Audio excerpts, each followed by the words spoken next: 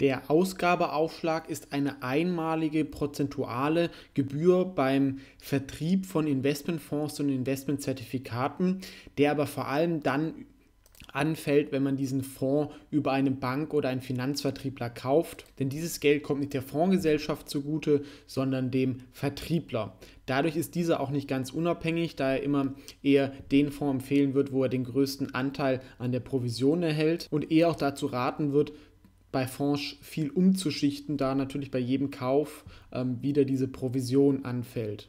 Über Börsen und Direktbanken ist es meist möglich, diesen Ausgabeaufschlag zu umgehen und den Fonds direkt zu kaufen, was auf jeden Fall empfehlenswert ist, denn dieses Geld ist einfach weg, das ist wie eine Maklerprovision und das kann man sich wirklich sparen. Wir sehen hier zum Beispiel den DWS Top Dividendenfonds, da gibt es einen Ausgabeausschlag von 5%. Wenn man ähm, diesen Fonds aber über die Unvista Bank kauft, ähm, zahlt man nur 0%. Die normalen Verwaltungsgebühren von 1,5% muss man natürlich trotzdem zahlen, ist aber für ein aktives Fondsmanagement auch noch in Ordnung. Bei Wikifolios fallen zum Beispiel auch keine Ausgabeaufschläge an, da die auch online direkt gekauft werden.